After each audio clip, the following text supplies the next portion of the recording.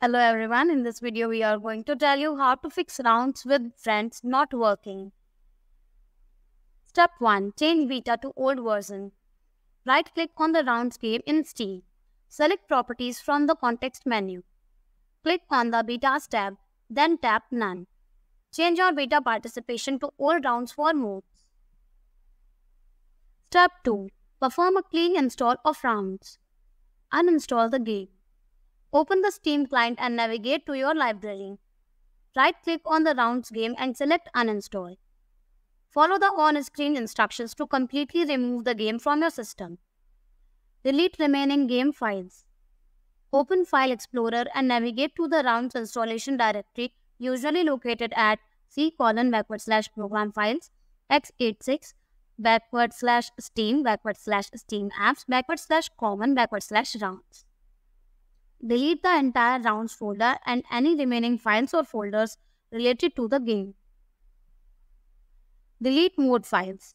If you were using a mode manager like Thunderstore Mod Manager, open the app and uninstall the Rounds with Friends mode and any other related modes. Manually delete any remaining mode files from the rounds forward slash BepInEx forward slash plugins directory.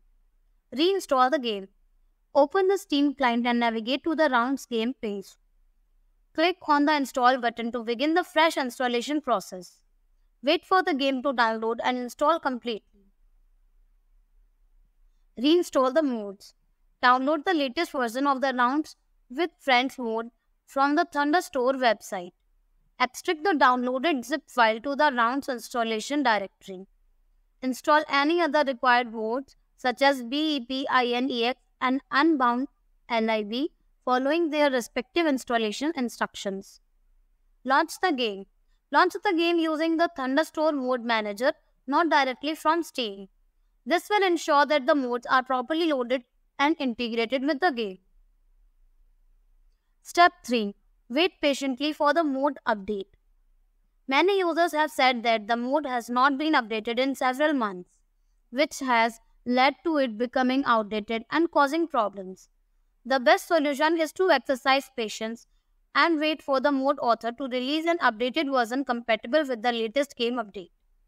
Check the mode's official channels for any updates or announcements. Thank you for watching the video. Do like, comment and share our video. Subscribe to our channel and press the bell icon for more such videos.